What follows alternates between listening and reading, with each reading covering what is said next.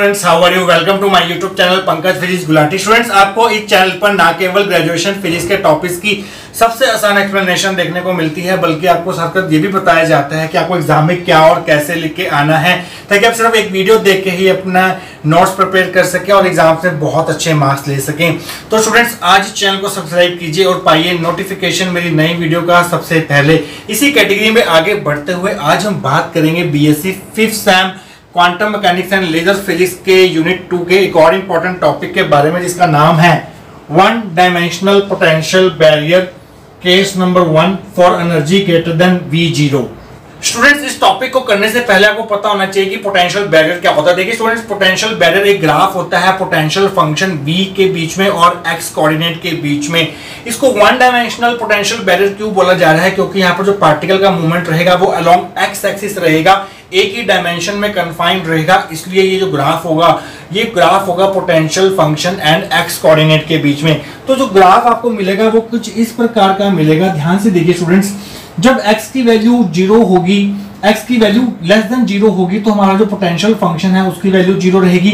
x is equal to zero पर आकर अचानक ही पोटेंशियल फ़ंक्शन में एक अब्रप्ट एक सडन चेंज आ जाएगा और पोटेंशियल फ़ंक्शन की वैल्यू जो है वो ज़ीरो से हो जाएगी वी नॉट जो कि कांस्टेंट रहेगी। कहाँ तक? x इक्वल टू ए तक कांस्टेंट रहेगी। उसके बाद again x equal to A पे आके पोटेंशियल में अचानक ही अब्रप्ट चेंज आएगा, एक सडन चेंज आएगा। मींस ये है, ये जो पॉइंट होगा x इक्वल टू ए ये दूसरा पॉइंट होगा पॉइंट ऑफ़ डिसकंटिन्यूटी का। पहला point of discontinuity x equal to zero था, जहाँ पर पोटेंशियल फ़ंक्शन ज़ीरो से एकदम v नोट हो गया था, और फिर v नोट कांस्टेंट रहने के बाद x इक्वल टू ए पर इस पॉइंट ऑफ़ डिसकंटिन्यूटी पर पोटेंशियल फ़ंक्शन v, जो v है, वो वी नोट से रिड्यूस हो गया, फिर ज़ीरो आ जाएगा, एकदम अचानक उसमें चेंज आ जाएगा। तो इस प्रकार के ग्राफ को बोलते हैं हम potential barrier so so, students हम इस ग्राफ को थ्री रीजन में डिवाइड कर सकते हैं।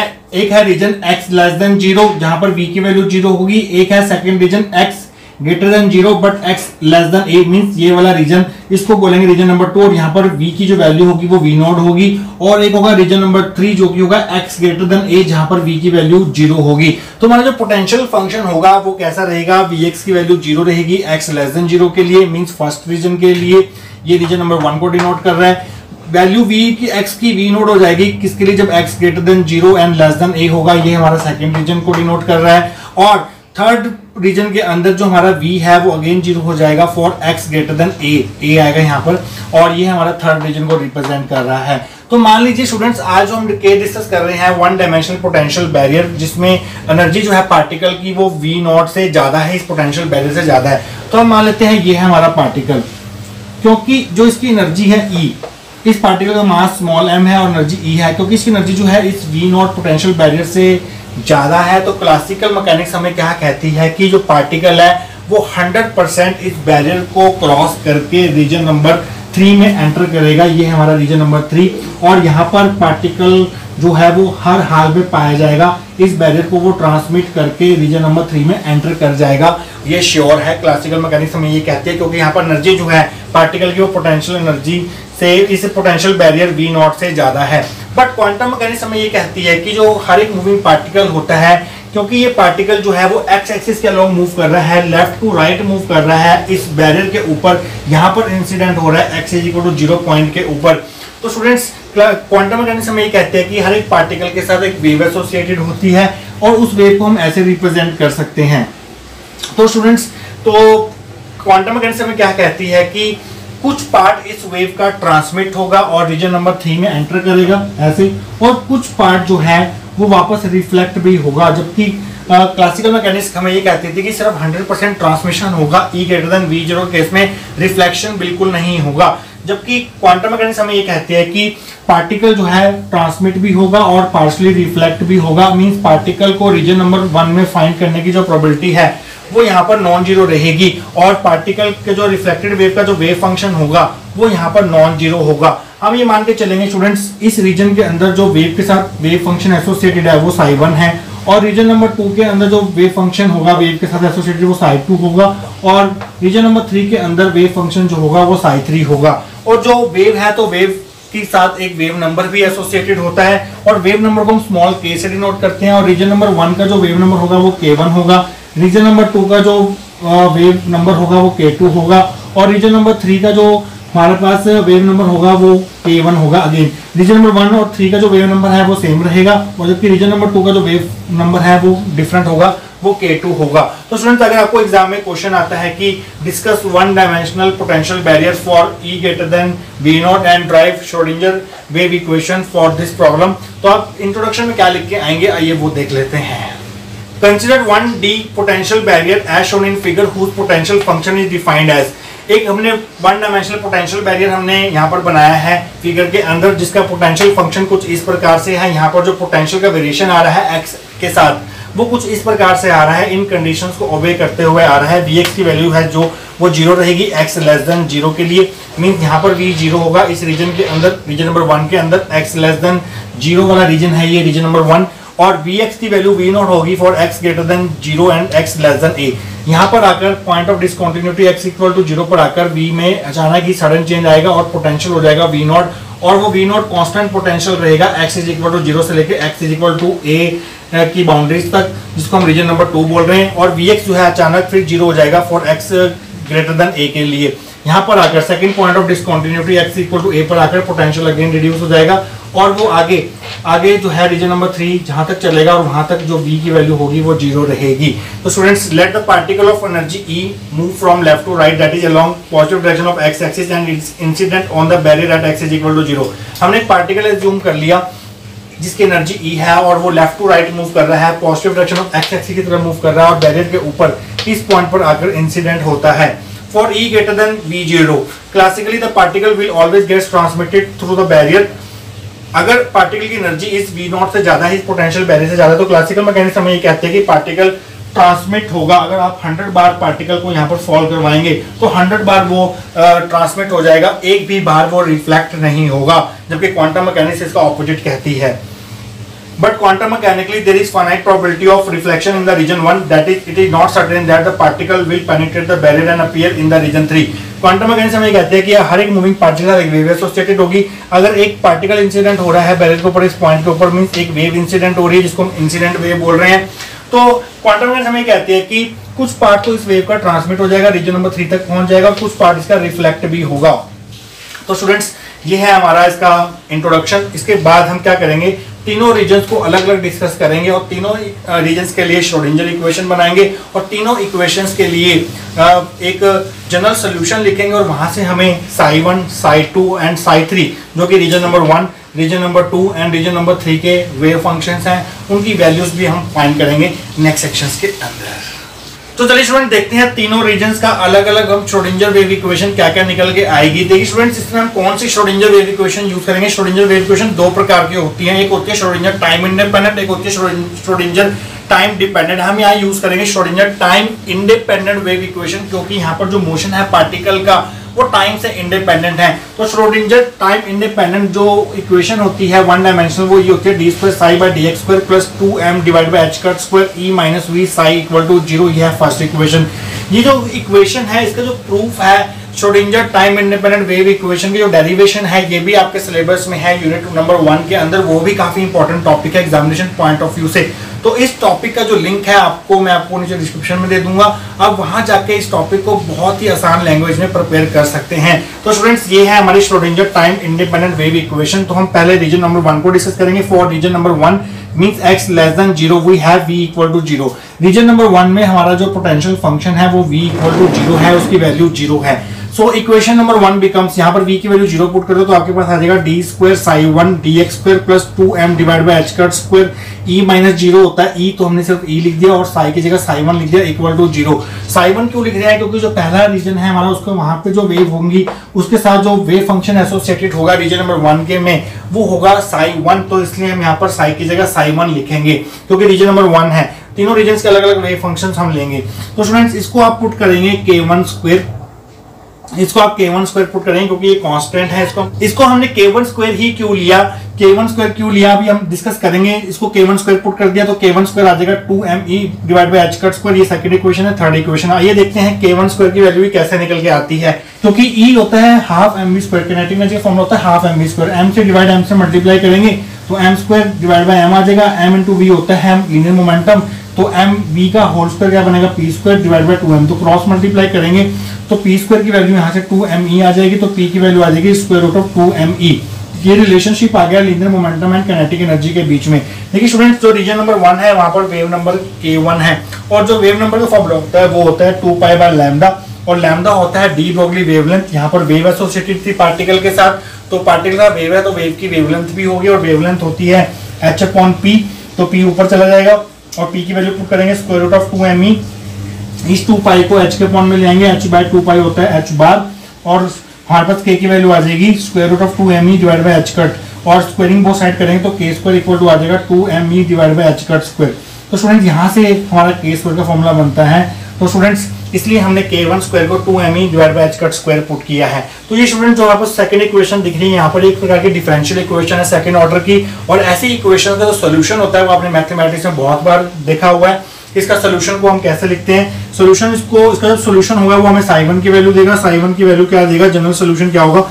ए इंटू ई की power iota k one x plus b into की power minus iota k one x ये हमारी फोर्थ इक्वेशन है। यहाँ पर ए एंड बी जो है वो कांस्टेंट है, जिनको हम बाद में निकालेंगे बाउंड्री कंडीशंस का यूज़ करके। तो स्टूडेंट्स फ़र्स्ट हमारे रीजन की जो हमारा वे फ़ंक्शन है साई वन वो निकल चुका है। अब हम रीजन नंबर टू की और रीजन नंबर थ्री की बात करेंगे नेक्स्ट सेक्शन के अंदर। आइए स्टूडेंट्स बात करते हैं रीजन नंबर टू की। रीजन नंबर टू जो है वो x greater than zero and x less than a पर खत्म हो रहा है। मीन इस रीजन की बात हो रही है यहाँ पर बी की वैल्यू वी नॉट है। We have v equal to V naught so equation one becomes और इक्वेशन रीजन नंबर टू का जो वेव फ़ंक्शन है वो साई टू है और रीजन नंबर थ्री का जो वेव फ़ंक्शन है वो साई थ्री है। तो हम यहाँ पर साई की जगह साई थ्री पुट करेंगे और v की जगह वी नॉट पुट करेंगे तो क्या आएगा? D square psi two by d x plus two m divide by h cut E minus V की जगह वी नॉट साई की जगह psi two equal to zero अब हम इसको एक कांस्टेंट पुट करेंगे और वो कांस्टेंट होगा के टू स्क्वायर यहाँ पर आप के टू स्क्वायर लिखेंगे तो d square psi two by d x plus k two square psi two equal to zero हमारी फिफ्थ इक्वेशन होगी जहाँ पर के टू स्क्वायर है two m multiply E minus V naught divide by h cut square ये six equation है। तो जन, जो जनरल सोल्यूशन निकल के आएगा हमारा इक्वेशन नंबर फाइव का। जो जनरल सोल्यूशन निकल के आएगा इस प्रकार की इक्वेशन का वो वैसे ही निकल गया था जैसे हमने पिछले सेक्शन में निकाला था।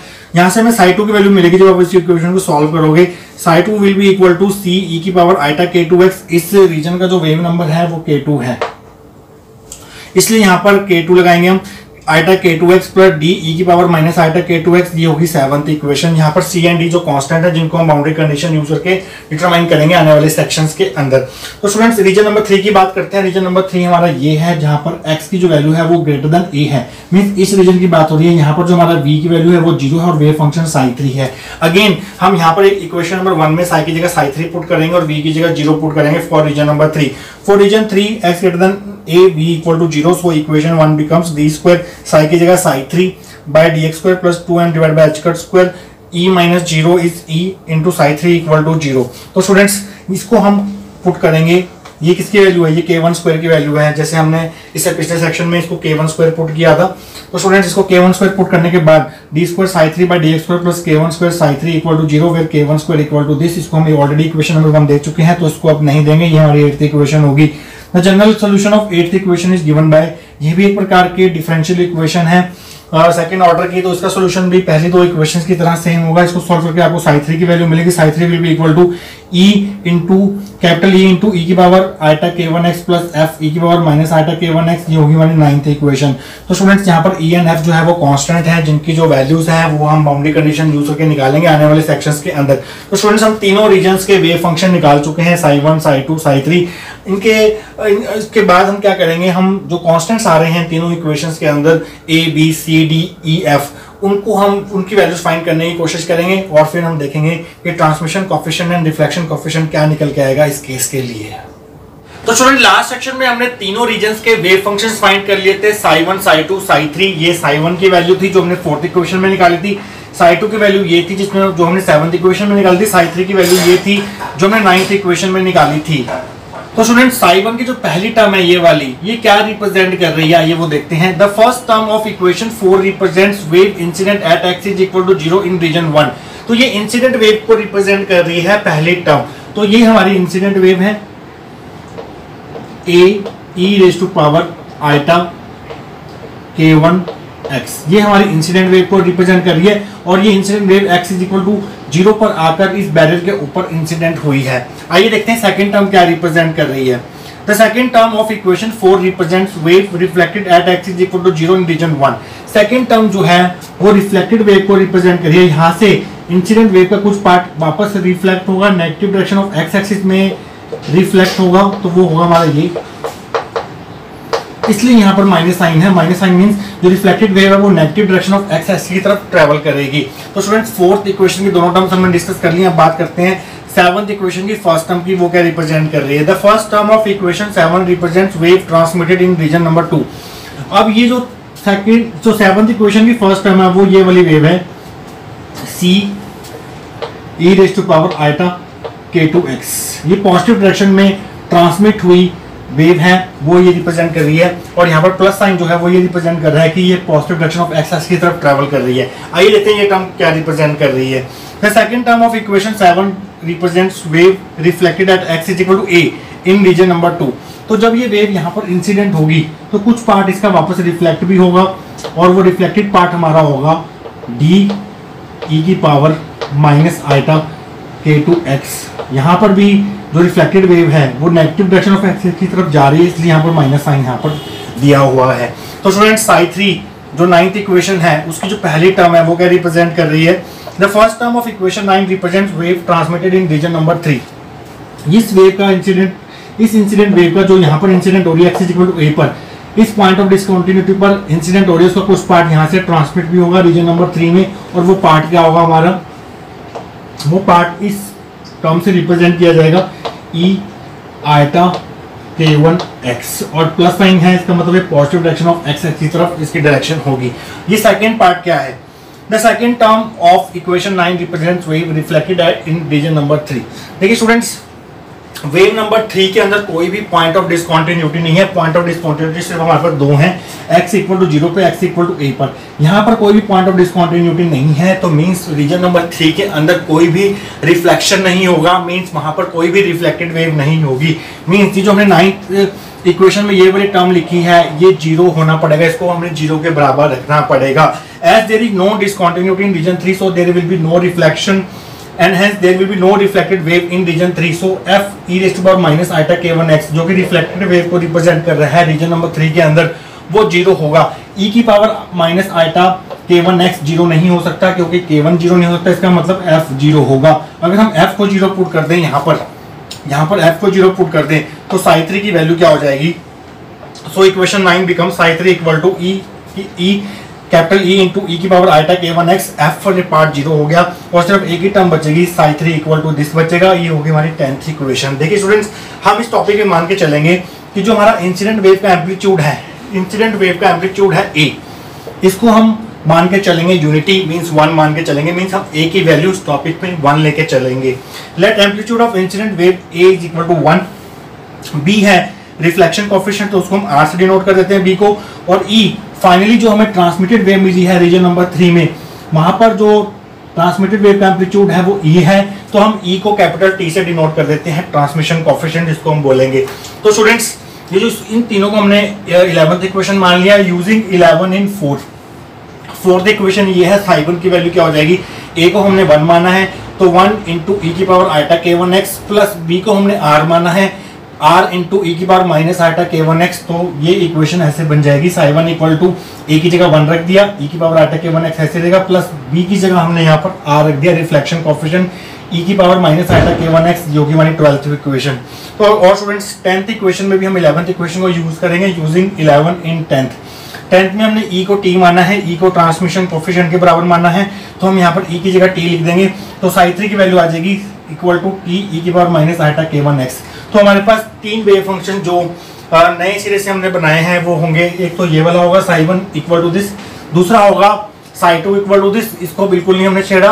ये ऐसे ही ऐसे रहेगा, ये सेवंथ इक्वेशन है, और साई थ्री होगा हमारा ये।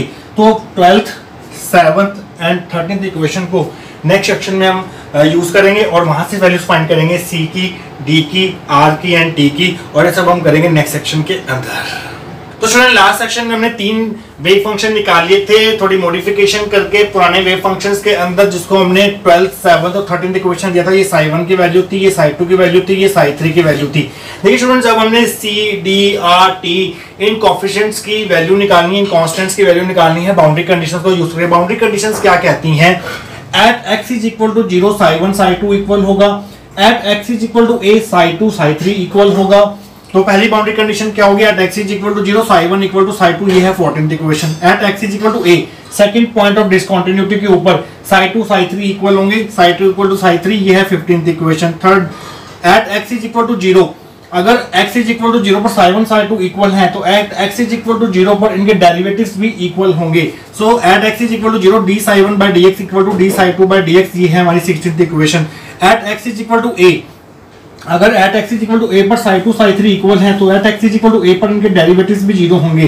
तो means at x is equal to A d psi two by d x equal to d psi three by d x ये हमारी सेवनटीन इक्वेशन है। इन चारों बाउंड्री कंडीशन को यूज़ करके हमें C D T and R की values find करनी है। तो स्टूडेंट्स पहले हम पहली वाली बाउंड्री कंडीशन यूज़ करेंगे फोर्टीन जो हमारी इक्वेशन है बाउंड्री कंडीशन की। At x is equal to zero psi one psi two equal होंगे। तो साई वन के अंदर हम एक्स की जगह ज़ीरो पुट करेंगे। साई टू के अंदर हम एक्स का ज़ीरो पुट करेंगे। जहाँ जहाँ पावर में आपको एक्स दिखाई दे रहा है, वहाँ पर ज़ीरो पुट कर दीजिए। और जो रिजल्ट्स आएँगे वैल्यूज़ पुट करने के बाद, उनको आप इक्वल रख दीजिए। तो स्टूडेंट्स अगर यहाँ पे, अगर आप एक्स की ज़ीरो पुट करते हैं तो वन इंटू ई की पावर ज़ीरो क्या होता है? ई की पावर ज़ीरो होता है वन तो वन इंटू क्या हो जाएगा? वन प्लस आर ई की पावर अगेन ज़ीरो हो जाएगा, क्योंकि एक्स की वैल्यू ज़ीरो है। तो आर इंटू ई की power zero means R into one that is one R हो जाएगा। तो वन प्लस आर आ गया साई वन में एक्स की वैल्यू ज़ीरो पुट करने के बाद इक्वल टू अगर आप यहाँ पर एक्स की वैल्यू ज़ीरो पुट करते हैं तो सी इंटू ई की power zero C into e की power zero mean C into one that is C plus ऐसे आप यहाँ पर एक्स की पावर ज़ीरो पुट करके प्लस डी इंटू ई की power zero mean D into one that is D आ जाएगा। ये हमारा रिलेशन बन गया one plus R equal to C plus D इसको हमने दे दिया एटीन इक्वेशन देखिए स्टूडेंट्स अब हम सेकंड बाउंड्री कंडीशन यूज़ करेंगे। सेकंड बाउंड्री कंडीशन क्या है? At x is equal to A psi two equal to psi three mean psi two और साई थ्री में एक्स की जगह ए पुट कीजिए और जो आंसर निकलेगा उनको इक्वल पुट कर दीजिए। जब यहाँ पर आप एक्स की x equal to A put करेंगे, यहाँ पर एक्स की वैल्यू ए पुट करेंगे तो क्या आएगा? सी इंटू ई की power iota k two A plus D into e की power minus iota k two A ये हमने साई टू में जहाँ जहाँ एक्स था, वहाँ पर ए पुट करके ये निकाल लिया. इक्वल टू इक्वल टू होगा साई थ्री के बट एक्स का आपको ए पुट करना पड़ेगा. साई थ्री हमारा ये है, यहाँ पे एक्स जगह ए पुट कर दीजिए. तो इक्वल टू टी ई की power iota k one A ये हमारी नाइनटीन इक्वेशन हो गई. उसके बाद स्टूडेंट्स जो बाउंड्री कंडीशन अगर सिक्सटीन सेवनटीन को अगर हमें यूज़ करना है तो पहले आपको psi one psi two and psi three का डेरिवेटिव फाइंड करना पड़ेगा एक्स के रिस्पेक्ट में. तो हमें इन तीनों इक्वेशंस का डेरिवेटिव करना पड़ेगा। एक्स के रिस्पेक्ट में आइए, वो करते हैं। Differentiating twelfth seventh and thirteenth W R T x we get d psi one by d x formula में यहाँ पर ये वाला यूज़ करेंगे। e की पावर ए एक्स का डेरिवेटिव होता है, a इंटू ई की पावर ए एक्स जो कांस्टेंट होगा e की पावर में वो आगे आ जाएगा, a के e के, और e की पावर ए एक्स हमारा ऐसे ही रहेगा। तो स्टूडेंट्स आइए करते हैं। वन हम लिखेंगे नहीं। आइटा के वन यहाँ पर कांस्टेंट है आइटा के वन आगे आ जाएगा। ई की power iota k one x ऐसे ही रहेगा। आर ऐसे रहेगा और minus iota k one constant है वो आगे आएगा तो minus iota k one e की power minus iota k one x यहाँ से आइटा के वन कॉमन आ जाएगा। तो आपके पास अंदर बचेगा ई की power iota k one x minus R into e की power minus iota k one x ये होगी हमारी ट्वेंटी इक्वेशन ये d psi one by d x आ गया। ऐसे ही आप इस इक्वेशन का डेरिवेटिव करके सेवन इक्वेशन का डेरिवेटिव करके एक्स के रिस्पेक्ट में तो आपको मिल जाएगा d psi two by d x यहाँ आइटा के वन कॉमन आया था, यहाँ से आइटा के टू कॉमन आएगा। तो वो मैंने डायरेक्ट लिख दिया आइटा के टू और यहाँ पर सी लिखा हुआ है तो यहाँ पर सी आएगा। वहाँ पर मैंने कुछ नहीं लिखा क्योंकि वहाँ पर वन था। ई की बार eta k two x minus d e की बार minus eta k two x ये हमारी ट्वेंटी इक्वेशन आ गई सेवंथ इक्वेशन को एक्स के रिस्पेक्ट में डेरिवेटिव करके। और जब थर्टीन इक्वेशन को एक्स के रिस्पेक्ट में डेरिवेटिव करेंगे तो d psi three by d x equal to eta k one आगे आ जाएगा। साथ में टी ऐसे रहेगा ई की power eta k one x ऐसे आ जाएगा। ये होगी हमारी ट्वेंटी इक्वेशन अब हम डेरिवेटिव फाइंड कर लिए हैं तीनों फ़ंक्शंस के। D psi one d psi two by d x and d psi three by की वैल्यूज़ फाइंड कर ली है। नेक्स्ट सेक्शन में हम इन तीनों इक्वेशंस के ऊपर 20, 21, 22 के ऊपर 16th and 17th boundary condition apply करेंगे और फाइंड करेंगे न्यू इक्वेशन ताकि हम अपने कॉन्स्टेंट्स की वैल्यूज़ फाइंड कर सकें। ये करेंगे हम नेक्स्ट सेक्शन के अंदर। तो स्टूडेंट्स लास्ट सेक्शन में हमने तीनों वेव फ़ंक्शन के डेरिवेटिव निकाले थे d psi one by d x d psi two by d x d psi three by d x इसको हमने twenty twenty one twenty two equation दिया था। और पहले दो बाउंड्री कंडीशन यूज़ करके हमें एटीन और नाइनटीन इक्वेशन मिली थी, जो मैंने यहाँ पर लिख दी, क्योंकि अभी ये यूज़ होंगी थोड़ी देर में। तो स्टूडेंट्स अब हम बाकी की दो बाउंड्री कंडीशन जो कि हमारी सिक्सटीन और सेवनटीन इक्वेशन में हमने लिखी थी, वो हम यहाँ यूज़ करेंगे इन तीनों इक्वेशंस के अंदर। देखिए students at x is equal to zero d psi one by d x equal to d psi two by d x है तो using sixteen equation in twenty and twenty one means जहाँ जहाँ आपका x है, यहाँ पर d psi one by d x में and जहाँ जहाँ आपका x है, यहाँ पर d psi two by d x में। जहाँ यहाँ x की वैल्यू ज़ीरो पुट कीजिए और इनको वेव फ़ंक्शन को इक्वल रख दीजिए। तो आयता के वन ऐसे आएगा। ब्रैकेट स्टार्ट e की पावर आयता के वन एक्स है तो यहाँ पर जब x की वैल्यू ज़ीरो पुट करेगा तो e की पावर ज़ीरो हो जाएगी तो वो वन आ जाएगा। Minus r into one e की पावर ज़ीरो वन होता है। तो one minus r equal to eta k two c into one क्योंकि e की पावर ज़ीरो वन हो जाएगा। C minus d into e की power zero two minus d आ जाएगा आपका। तो स्टूडेंट्स इसको सॉल्व कर लेते हैं। आयटा से आयटा कैंसिल कर दीजिए आप और के टू को अपॉन में भेज दीजिए। K one by k two equal to आ जाएगा। One minus r equal to c minus d ये हमारी ट्वेंटी थर्ड इक्वेशन हो गई। तो स्टूडेंट्स उसके बाद आप क्या करेंगे? जो सेवनटीन इक्वेशन है मीन सेकंड बाउंड्री कंडीशन है, जो हमारे पास डेरिवेटिव वाली, उसको आप यूज़ करेंगे यहाँ पर और यहाँ पर, क्योंकि at x is equal to a पर d psi two by d x equal to d psi three by d x है। तो d psi two by d x में जहाँ जहाँ एक्स लिखा हुआ यहाँ पर और यहाँ पर ए पुट कर दीजिए और यहाँ पर भी ए पुट कर दीजिए, जो आंसर आएँगे एक्स की वैल्यू ए पुट करने के बाद। उनको आप इक्वल लिख दीजिए। देखिए स्टूडेंट्स आइटा के टू है तो मैंने आइटा के टू लिख दिया यहाँ पर। आइटा के टू सी ई की पावर आइटा के टू यहाँ पर एक्स की जगह ए आ जाएगा। सी ई की power eta k two a minus d into e की power minus eta k two a जहाँ जहाँ एक्स है, वहाँ पर ए पुट करते जा रहे हैं इक्वल टू ये वाला वेव फ़ंक्शन आईटा के वन टी ई की पावर माइनस ई की power eta k one a यहाँ पर भी एक्स का ए पुट कर दिया तो दोनों वेव डेरिवेटिव जो है वो इक्वल हो जाएँगे. At x is equal to a d psi two by d x equal to d psi three by d x वाली बाउंड्री कंडीशन हमने यहाँ पे अप्लाई कर दी.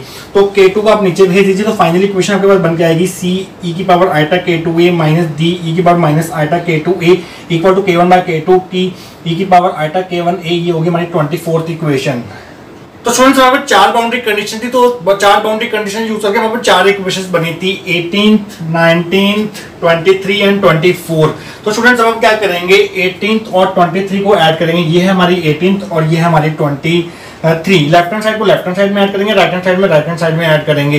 तो 1 प्लस आर हमारी जो इधर की लेफ़्ट हैंड साइड है एटीन इक्वेशन की प्लस 23 इक्वेशन की जो लेफ़्ट हैंड साइड है k1 plus k one divide by k two into one minus r इन दोनों को ऐड कर दिया इक्वल टू जब आप c plus d and c minus d को ऐड करेंगे तो माइनस डी से प्लस डी कैंसिल हो जाएगा और c प्लस सी वो बन जाएगा टू सी तो स्टूडेंट्स को सिंप्लीफाई करते हैं one plus r plus k one by k two को वन से मल्टीप्लाई करते हैं one k one by k two को माइनस आर से मल्टीप्लाई करते हैं। तो आपको ये स्टेप मिलेगा। उसके बाद one plus k one by k two mean constant terms को एक ब्रैकेट में कर लिया प्लस आर यहाँ से कॉमन ले लिया। इस टर्म में से, इस टर्म में से। तो आर कॉमन लेने के बाद आपको बचेगा one minus k one by k two equal to two c ये होगी हमारी ट्वेंटी फाइव इक्वेशन तो हमने टू सी की वैल्यू निकाल लिया ऐसे हम टू डी की वैल्यू निकाल सकते हैं। जब आप सब्ट्रैक्ट करेंगे ट्वेंटी थर्ड इक्वेशन को एटीन इक्वेशन में से subtracting twenty three from eighteen तो एटीन में से सब्ट्रैक्ट कर रहे हैं तो पहले एटीन की लेफ़्ट हैंड साइड लिखेंगे वन प्लस आर माइनस फिर 23 के लेफ़्ट हैंड साइड माइनस करेंगे k one by k two one minus r तो माइनस लगा के हमने यहाँ पर लिख दिया इक्वल टू जब आप माइनस करेंगे इसको, c minus c plus d में से c माइनस डी माइनस करेंगे तो c से c कैंसिल हो जाएगा, और d, और ये माइनस का d प्लस का d बन जाएगा साइन चेंज होंगे, d प्लस डी बन जाएगा टू डी तो उसी तरह से जब आप इस ब्रैकेट्स को ओपन करेंगे और इसको रीअरेंज करेंगे कॉन्स्टेंट टर्म्स एक ब्रैकेट में लिखेंगे तो आपको मिलेगा one minus k one by k two plus r one plus k one by k two इसको अरेंज करके इक्वल टू टू डी तो ये होगी हमारी ट्वेंटी सिक्स इक्वेशन तो टू सी और टू डी की वैल्यू फाइंड कर चुके हैं। इसके बाद के जो स्टेप्स हैं वो देखेंगे हम नेक्स्ट सेक्शन के अंदर। तो स्टूडेंट लास्ट सेक्शन में हम टू सी की वैल्यू फाइंड कर चुके थे, जिसको मैं ट्वेंटी फिफ्थ इक्वेशन दिया था एंड टू डी की वैल्यू फाइंड कर चुके थे, जिसको मैं ट्वेंटी सिक्स इक्वेशन दिया था। देखिए स्टूडेंट बाउंड्री कंडीशन को यूज़ करके हमने दो और इक्वेशन बनाई थी, जिनको हमने पिछले सेक्शंस में 19 एंड 24 इक्वेशन दिया था। अब ऐड एंड सब्ट्रैक्ट करने की बारी इन इक्वेशंस की है तो पहले हम इन दोनों इक्वेशंस को ऐड करेंगे। तो लिखेंगे हम एडिंग 19 एंड 24 जब आप ऐड करेंगे तो ये टर्म्स कैंसिल हो जाएँगे डी वाली और ये वाली टर्म दोनों ऐड होकर ट्वाइस बन जाएँगी। तो 2c हो जाएगा ये इन दोनों को ऐड करके हो जाएगा 2c e की power eta k two a equal to जब आप इन दोनों को ऐड करेंगे और कॉमन लेंगे टी ई e की power eta k one a दोनों में कॉमन है तो कॉमन लेंगे तो यहाँ वन बचेगा plus k one by k two आ जाएगा। तो ऐड करने के बाद कॉमन लेने के बाद राइट हैंड साइड को इन इक्वेशंस की आपको मिलेगा one plus k one by k two into t की टी इंटू ई की पावर आटा के वन ये होगी हमारी ट्वेंटी सेवन इक्वेशन अब हम इनको सब्ट्रैक्ट करेंगे। सब्ट्रैक्ट करने से पहले एक स्टेप और करना है आपको। देखिए, यहाँ पर टू सी आ रहा है। तो आपको टू सी की वैल्यू पता है, ऊपर ट्वेंटी फाइव इक्वेशन में वो वैल्यू आपको यहाँ पुट करनी है। Using twenty five in twenty seven तो टू सी की जगह ये वैल्यू पुट करेंगे आप। बड़ी ब्रैकेट लगाएँगे। One plus k one by k two plus r into one minus k one by k two into e की power eta k two a equal to same रहेगी ये, हमारी टर्म ट्वेंटी सेवन इक्वेशन की right hand side same रहेगी। तो हमने यहाँ पर टू सी की वैल्यू पुट कर दी, ये वाली। तो स्टूडेंट्स उसके बाद इसको हमने दे दिया ट्वेंटी एट इक्वेशन उसके बाद हम इन दोनों को सब्ट्रैक्ट करेंगे। जब आप सब्ट्रैक्ट करेंगे तो साइन चेंज होंगे साइन चेंज होंगे यहाँ पर, और ये टर्म कैंसिल हो जाएँगे। आपके पास सी वाली टर्म कैंसिल होंगी, और डी वाली टर्म्स ऐड हो जाएँगी। तो ये बन जाएगा टू डी ई की power minus eta k two A equal to यहाँ से जब आप कॉमन लेंगे तो टी ई की power eta k one a जो है, दोबारा कॉमन आएगा। One minus k one by k two आ जाएगा यहाँ पर। तो one minus k one by k two into t e की power eta k one a जो कि ट्वेंटी नाइन्थ इक्वेशन देखिए स्टूडेंट्स टू डी की वैल्यू हमें पता है। ये है हमारी टू डी की वैल्यू जैसे हमें टू सी की वैल्यू पुट की थी यहाँ पर, वैसे हम यहाँ पर टू डी की वैल्यू पुट करेंगे। Using twenty six in twenty nine तो स्टूडेंट्स टू डी की वैल्यू पुट करेंगे ये वाली। One minus k one by k two plus r into one plus k one by k two bracket close into e की power minus eta k two a equal to ये वाली side जो है वो बिल्कुल सेम रहेगी और इसको हम दे देंगे थर्टियथ इक्वेशन तो इसके बाद के जो स्टेप्स हैं वो करेंगे हम नेक्स्ट सेक्शन के अंदर. तो स्टूडेंट लास्ट सेक्शन में हम 28th and 30th equation form कर चुके थे। ये काफ़ी कॉम्प्लिकेटेड इक्वेशन निकल के आई थी हमारे पास। Dividing 28 by 30 this is our next step तो आप डिवाइड करेंगे लेफ़्ट हैंड साइड को लेफ़्ट हैंड साइड से राइट हैंड साइड को राइट हैंड साइड से डिवाइड करेंगे। तो ये अपॉन ये करेंगे। तो ये लिख दिया अपॉन में ये लिख दिया। इक्वल टू ये डिवाइड बाई ये। जब डिवाइड करेंगे तो ये टर्म कैंसिल जाएँगे क्योंकि सेम है तो इक्वल टू में बचेगा one plus k one by k two one minus k one by k two अब हम करेंगे cross multiply one minus k one by k two को इससे मल्टीप्लाई करेंगे, इससे मल्टीप्लाई करेंगे। उसी तरह से इस पूरी टर्म को उधर लेके जाएँगे और one plus k one by k two को इससे भी मल्टीप्लाई करेंगे, इससे भी मल्टीप्लाई करेंगे। ध्यान से देखिए, one minus k one by k two into one plus k one by k two means a minus b a plus b की आइडेंटिटी लगेगी। वो हो जाएगा a square minus b square means one minus k one square divide by k two square plus r one minus k one by k two into one minus k one by k two, ये हो जाएगा one minus k one by k two का whole square into e की power iota के to ऐसे ही रहेगा equal to जब आप one plus k one by k two को one minus k one by k two से मल्टीप्लाई करेंगे तो a plus b a minus b की आइडेंटिटी लगेगी तो ये हो जाएगा a square minus b square means one minus k one square by k two square plus r हमारा ऐसे ही रहेगा, one plus k one by k two into one plus k one by k two हो जाएगा one plus k one by two, k two का whole square, क्योंकि ये दो बार हो जाएगा। और इंटू ई की power minus eta k two ए हमारा ऐसे ही रहेगा। इसे नेक्स्ट स्टेप में आप क्या करेंगे? आर वाले टर्म्स को एक साइड करेंगे और बिना आर वाले टर्म्स को एक साइड करेंगे। आर वाले टर्म्स को जब आप इधर करेंगे तो आर यहाँ से और आर यहाँ से कॉमन आ जाएगा तो आर बाहर आएगा। Into one minus k one by k two का होल स्क्वायर इंटू ई की पावर आटा के टू ए माइनस, क्योंकि ये प्लस की टर्म थी, इधर आके माइनस की हो जाएगी। Minus one plus k one by k two का होल स्क्वायर इंटू ई की power minus eta k two a. तो आर वाली टर्म्स आपने एक साइड कर ली इक्वल टू बिना आर वाली टर्म्स कौन कौन सी है? ये वाली है और एक ये वाली है। और दोनों में one minus k one by k one का स्क्वायर बाय के टू का स्क्वायर जो है वो कॉमन आ रहा है। यहाँ से भी और यहाँ से भी ये कॉमन ले लिया हमने बाहर। One minus k one square by k two से कॉमन ले लिया, अंदर बचेगा ई की power eta k two a. पहले आप ये वाली टर्म लिखेंगे ई की power minus eta k two a और ये टर्म जब इधर आके माइनस की होगी तो माइनस ई की पावर माइन ई की power eta k two a आ जाएगा। रीअरेंज आप इसको बड़ी आसानी से कर सकते हैं। तो उसके बाद के जो स्टेप्स है स्टूडेंट्स वो हम करेंगे नेक्स्ट सेक्शन के अंदर।